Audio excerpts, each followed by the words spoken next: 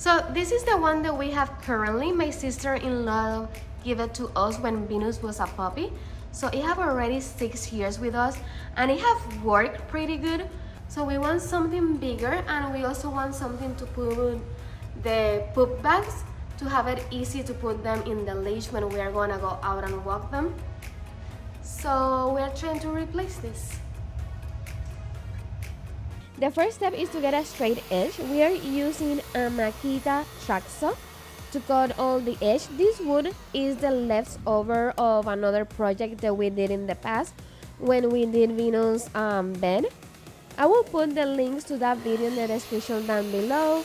Like that you could see other projects that we have done and from where the wood come from. This is a three quarter of an inch walnut wood we got it in shell lumber here in Miami, but I'm pretty sure walnut is pretty common and you could get it in any local hardware store.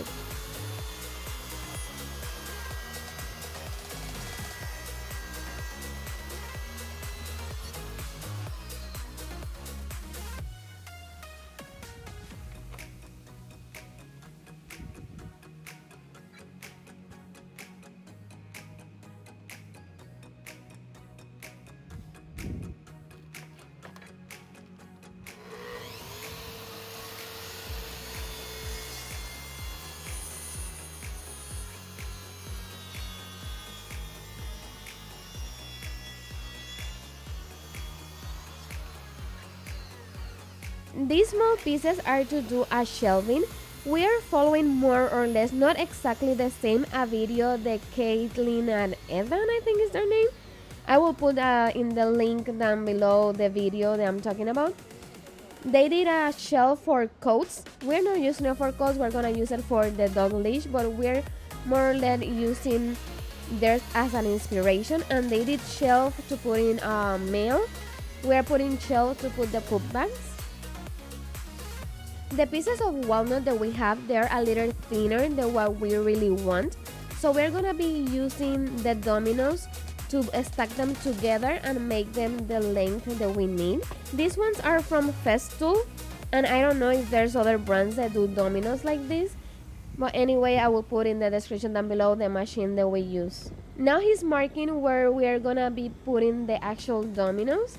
Like that he have the same spot in both pieces of the wood. The domino machine I know is a little in the expensive side. You could also do this with other things like the waffle thingy.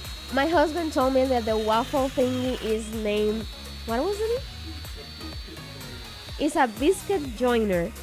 And, but they also could do it with dowels and in other ways. We choose to do it with dominoes because we already have the machine, so that's why we do it. But I know this machine is a little bit in the pricey side, but have in mind that you could do it other ways.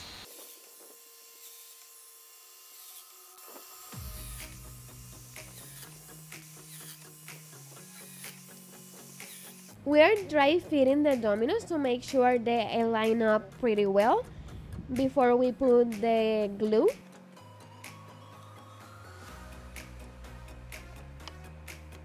Now we're doing the same with the big piece and that triangle thing he said that he made it so he knows which is the front because in the past he didn't mark which side was the front and then they were not lining up correctly in other projects that we did. Most of our tools are from Festool but I know since the pandemic started Festool have a lot of things in back order so I don't know if you could find the same machines from another brand that is made in America. Festool is made in Germany. And we ordered something for Christmas and we're still waiting for it. So if you don't have these uh, specific tools, it may be take a while to get to you.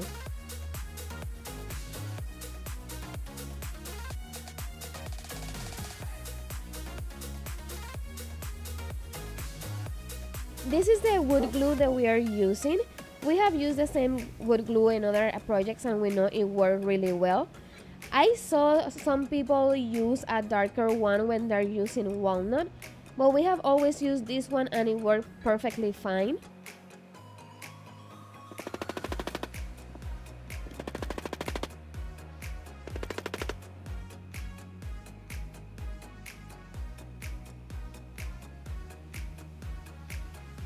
Lot of glue. So like that every piece of the wood is in contact with the glue. The glue it make the bond really strong. In, my husband said that it's more strong than even nails. So we put plenty plenty of glue. You could smear it with your finger or if you have one a brush you could do it with a brush. They also have like silicone brushes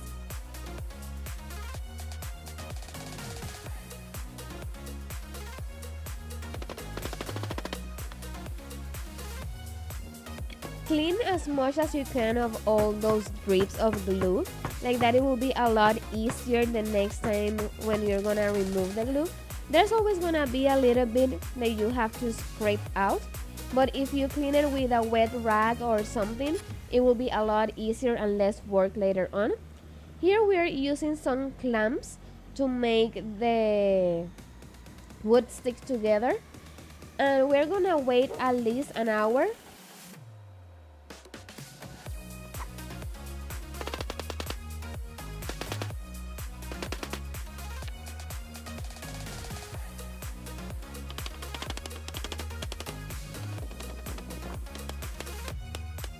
now we're gonna start cutting the final dimensions. We are using here again our track saw from Makita.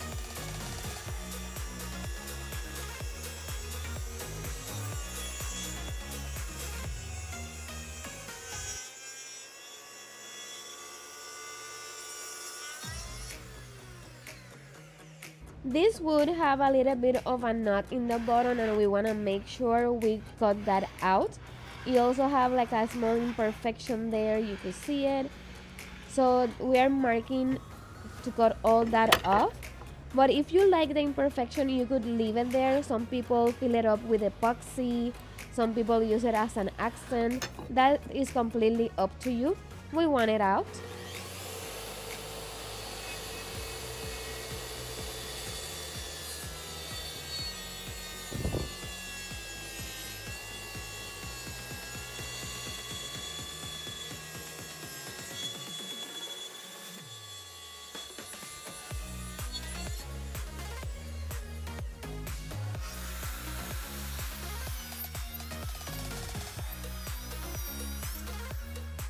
For the next part, we are using our sliding miter saw.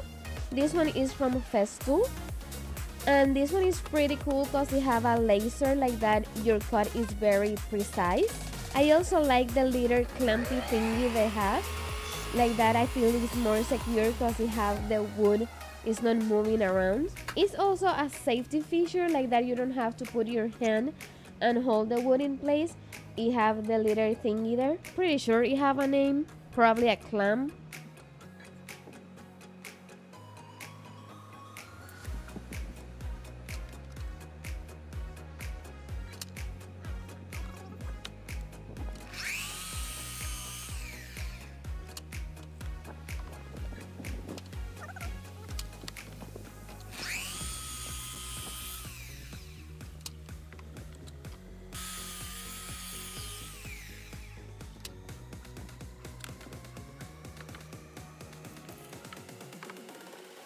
I will have all the measurements in the description down below. He used the metric system, but I will also put them in imperial. Now with our router, we are doing a small bevel in the bottom and on the side to give it more of a finished look.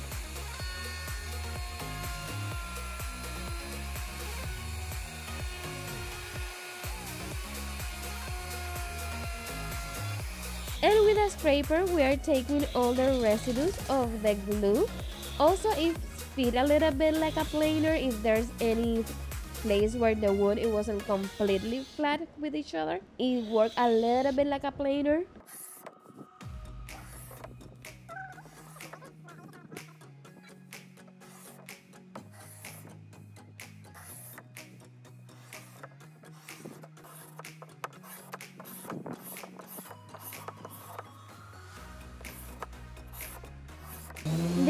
First round of sanding and we started with an 80 grit and then we move on to 120 and we finish with 150. Our sander is from Makita We ordered one from Festool for Christmas. That was supposed to be Jay's Christmas present.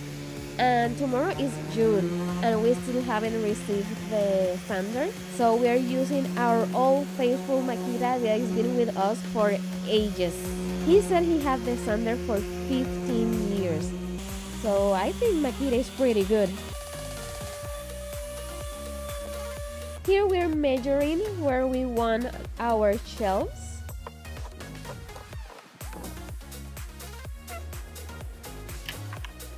Before we start doing any holes, we are dry fitting everything to make sure we like where we're gonna put the stuff and that it look like we want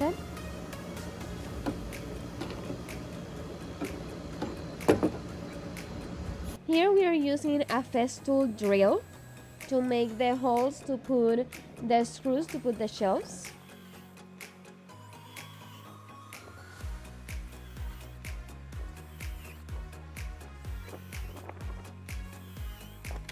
We got these in Etsy. They were advertised as towel hooks, but they are dowels of wood and brass.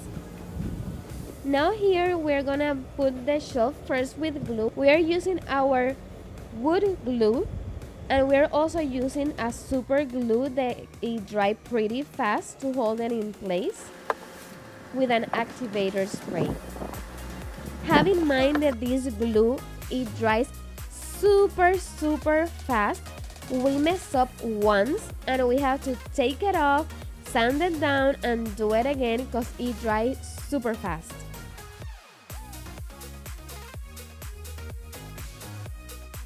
this is the glue. We use the Starbond in medium.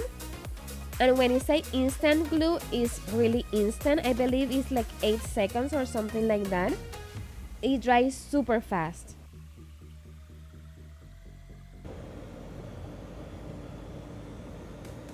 If you don't use the spray applicator it's like 30 seconds. And if you use the applicator it's like 8 seconds. And we tested it and it was true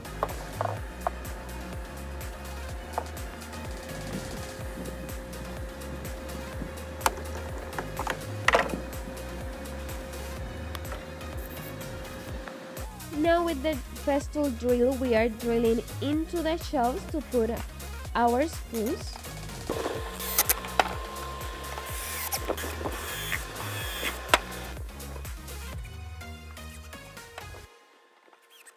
Something that I like about these towel hooks is they have like a little pointy thing in the back so they stay in place while you drill them.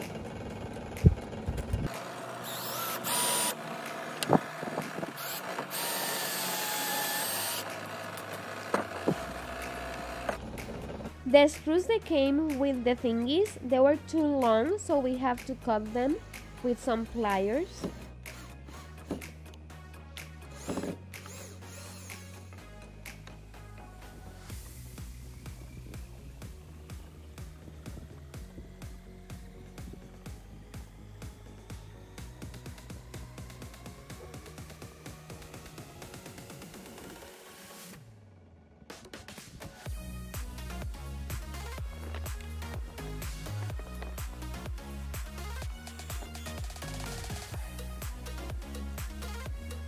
Now to clean it all, we're gonna be using mineral spirit.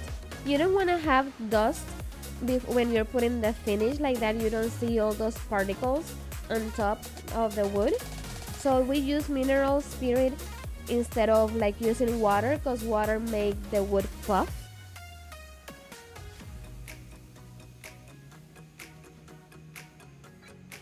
And for finish, we're using simple finish.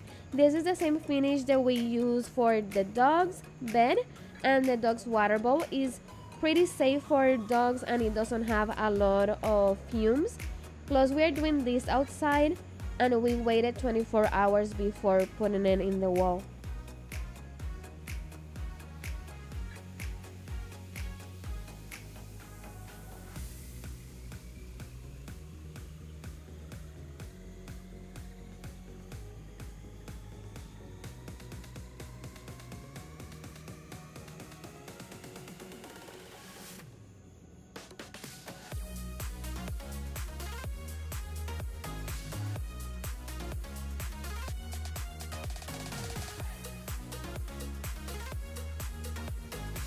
Now we are using a laser and that thing is for the vacuum of Festool to do the holes and all the dust goes directly to the vacuum.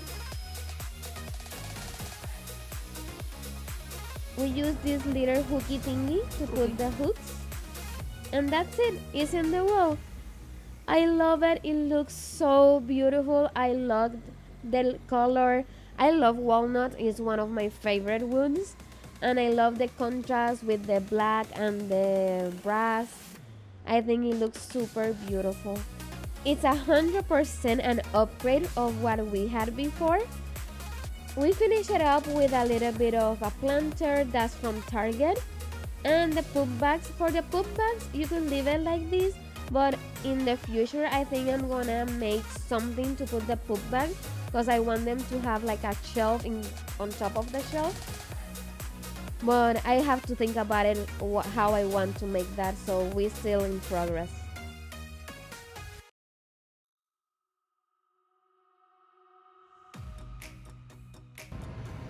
And now it's time to test it with Venus and Apollo. Time to take them for a little walkie walkie.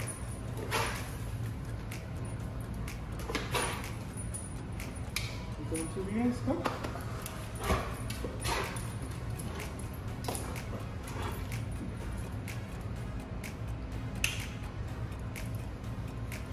that was it. Thank you for watching. See you in the next one. Bye.